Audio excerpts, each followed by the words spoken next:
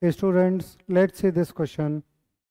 The potential difference between points A and B in the given uniform electric field is.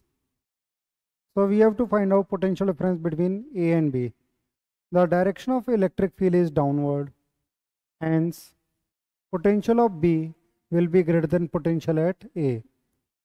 And that will be equals to electric field E multiplied by displacement in the direction of electric field that is B. So our correct answer would be C.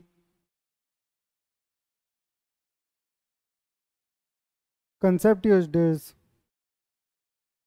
potent relation between